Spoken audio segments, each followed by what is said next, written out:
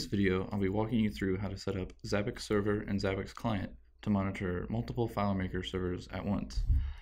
To start off here, I am logged into our Amazon web server, which is where I'll be installing Zabbix Server. I'm logged in via SSH via terminal. So the first thing we will do is download the Zabbix Server repository, running this command. Next, we will install the package that we downloaded. And then we'll go ahead and update any of our existing packages just in case.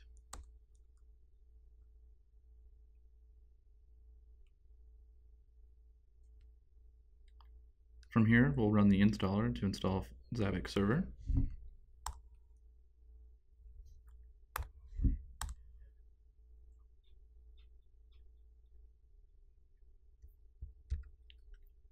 Next, we'll create a MySQL database for Zabbix Server to store all of its data.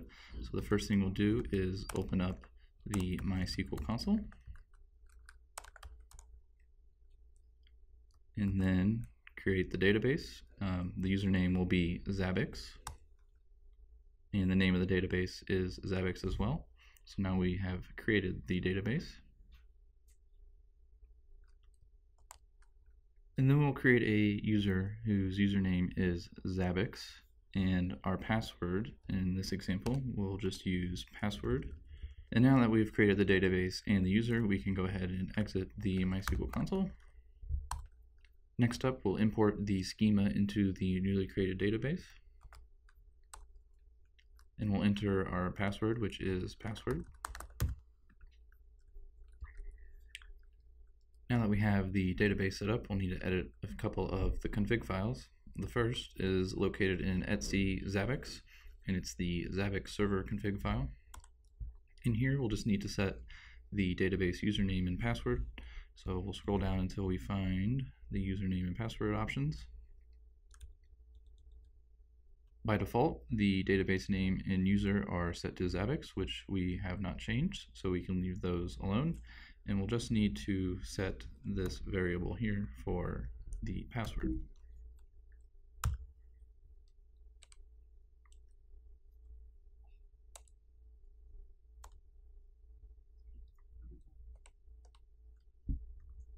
After we made our changes, we'll save the config file. And that is all we need to do to set up the backend for Zabbix server. Next, we'll be setting up the front end.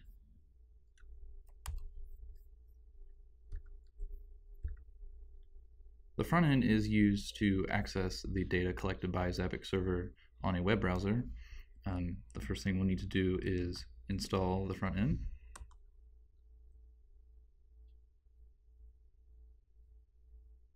Next, we need to edit the config file to include the proper time zone, and that's located in etc zabbix, and it's the Apache config file. There's a couple of lines in here that we'll need to uncomment and then insert the proper time zone.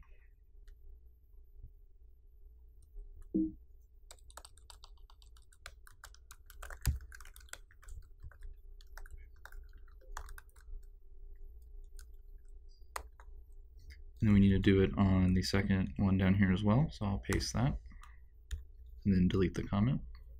And then we'll need to save this file. After we made our changes, we'll need to restart Apache. And now we can finally start the Zabbix server process and update it so that it starts on startup. Next, we'll need to copy over the Zabbix web file so that we can access the Zabbix dashboard from a web browser. So the first thing we'll do is make a directory in var www html and make a new directory in there, subdirectory in there called Zabbix, and then copy over the web files that were downloaded when we downloaded the Zabbix package. Now we'll open up a web browser and navigate to our server to the Zabbix directory, and we should come to a page that looks like this and we'll click next step. And then we'll want to scroll through here and make sure all of the requirements are okay. And then go to the next step. On this page we'll fill in the information. So our database name is Zabbix and our user is Zabbix. And from before we set our password to password. So we'll type that in. And our database type we set up as MySQL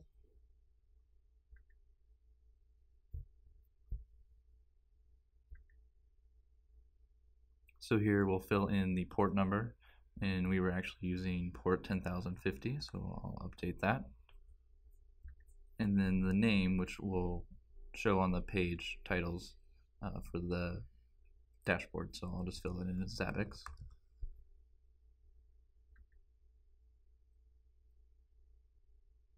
And then just keep going through here. So now the installation is complete then we'll come to the login page where we'll log in with the default username and password which is admin with a capital A, and the password is Zabbix by default.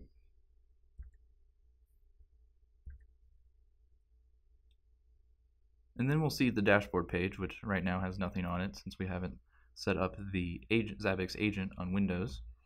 So for now, we'll hop over to Windows and set up the Zabbix, Zabbix agent. Over on Windows, we'll navigate to Zabbix website to download the agent for Windows. and then we'll download our selected version.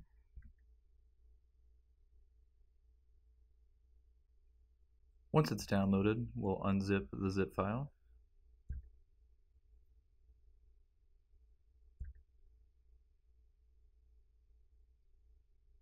We'll also create a new directory to store our Zabbix agent files. So I'm going to just create it on the C drive and call it Zabbix.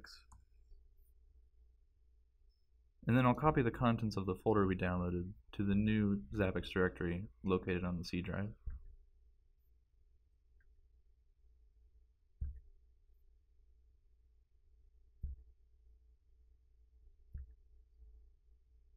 And from here we need to move the executable in the config file up to the root.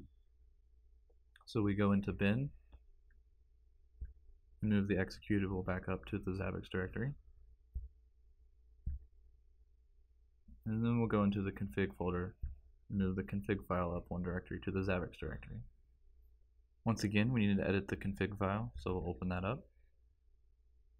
And then we'll scroll down to the section where it lists the server name option.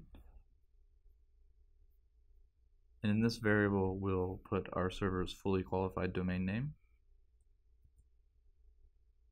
And then also find the section for active checks and put our server's fully qualified domain name there as well.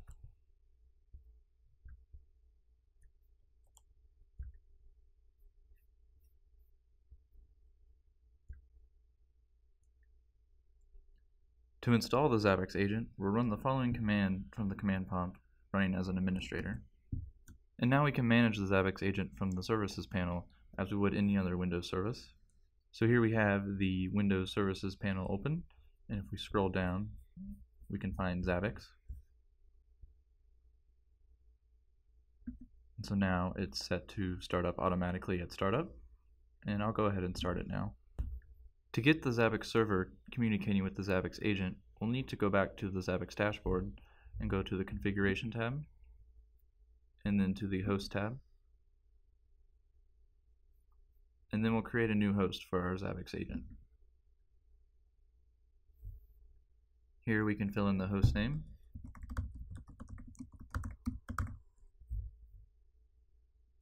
And then add a new group for our Zabbix agent.